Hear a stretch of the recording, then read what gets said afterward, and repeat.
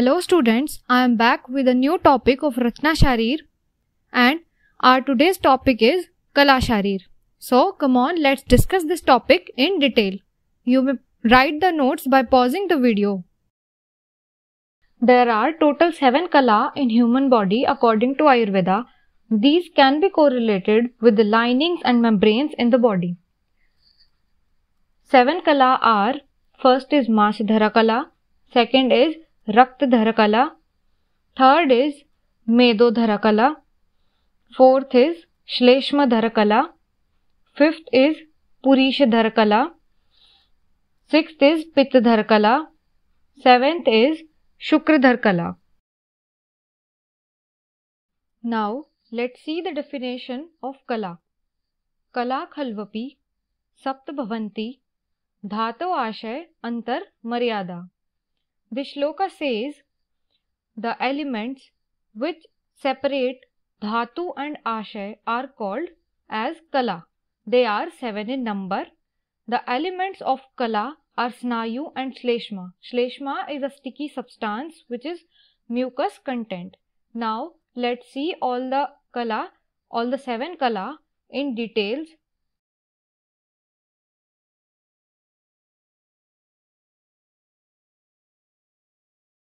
Our first kala is Masidhara kala, which is intermuscular septa, which is a modification of deep fascia. Its shloka is तासाम प्रथमा मासधरा यस्याम मासे सिरासनायु धमनी स्त्रोतसाम प्रताना भवंती this shloka से सबसे पहली मासधरा कला है जो मास में रहती है सिरा स्नायु धमनी और स्त्रोतस की ओवरलैपिंग जहाँ पाई जाती है वहाँ मासधरा कला पाई जाती है। यथा विस्मृणालानि विवर्धन्ते समन्ततः भूमौ पंकोदक स्थानी तथा मासे सिरादय। मासधरा कला तभी दिखेगी जब हम लेयर बाय लेयर स्किन को हटाएँगे, जैसे लोटस को पूरा निकालने के बाद। उसके पार्ट्स हमें दिखते हैं। As the stalk of the lotus flower sinks in the mud and spreads in the surrounding area in the same pattern the sira, dhamni, strotas and snayu by taking the support of kala spread and nourish the mass. Nourishment is functional support. Here second kala is raktadhara kala.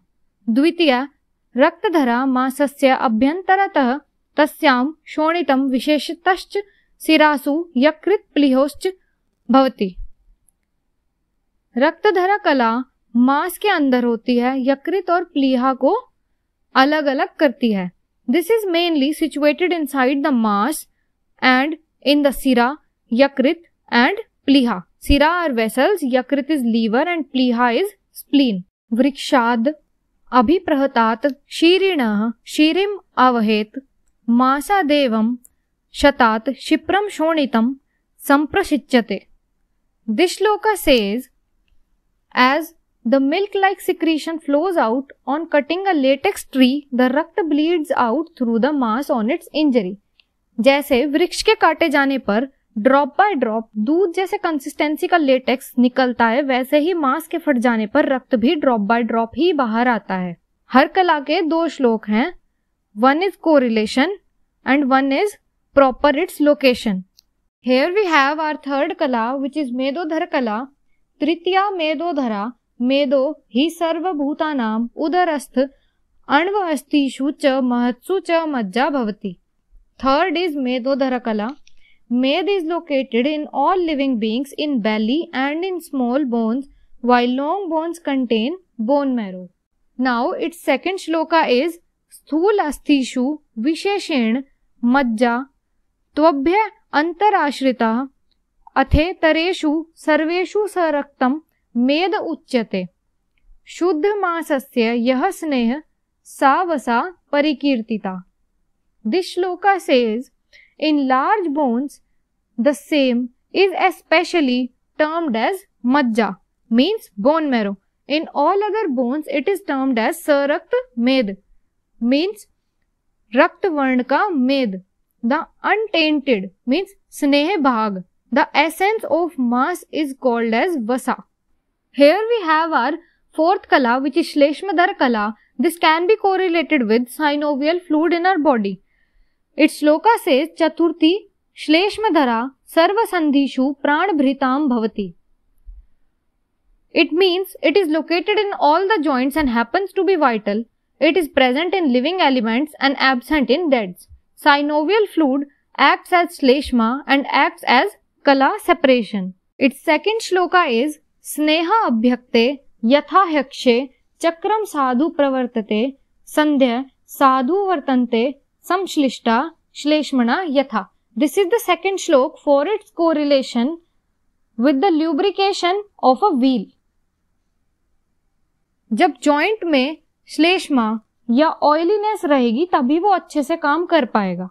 As wheel moves on well by lubricating the axis joints also function properly if supported by kapha now our fifth kala is purishadhara kala this can be correlated with the lining membrane of colon पंचमी पुरीशधरा नाम या अन्ते कोष्ठे मल अभिविभजते पक्वाशय स्था It is located in Pakvashay inside the Antah Kost.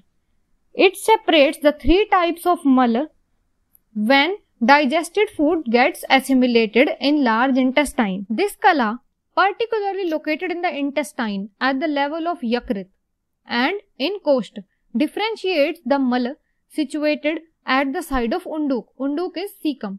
Here is our sixth kala which is pittadhar kala which can be correlated with the lining of seminal passage.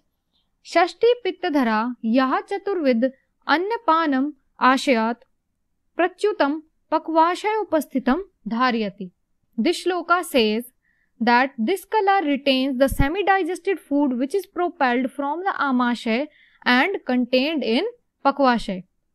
It distinctively holds the food properly digested and also digests all type of food which are Asit, Pid, Khadit and Le. Its second sloka is Ashitam Khaditam Pitam Lidham Koshtagatam Nirnam Tajjiryati Yathakalam Shoshitam Pit Tejasa. This shloka says that exclusively it is located between Pakvashay and Amashay and it bears the Agni which is the main factor of digestion and absorption and hence this place is considered as Grahani. You will have to learn both the shloka. Both are important. Please subscribe the channel if you like the video. And this is the last kala we are going to cover. Our last kala is Shukradhar kala. Saptami Shukradhara ya Sarva Prani Nam Sarva Sharir Vyapini. This kala can be correlated with the seminiferous epithelium. This shloka says it spreads in all living beings throughout the bodies. As the presence of ghee in the milk, sugar in sugarcane juice, the presence of sugar is prevalent throughout the human body. Please subscribe the channel, like the video and go through the description to check about our telegram channel and our Instagram page and stay connected. Stay tuned. Thank you for watching.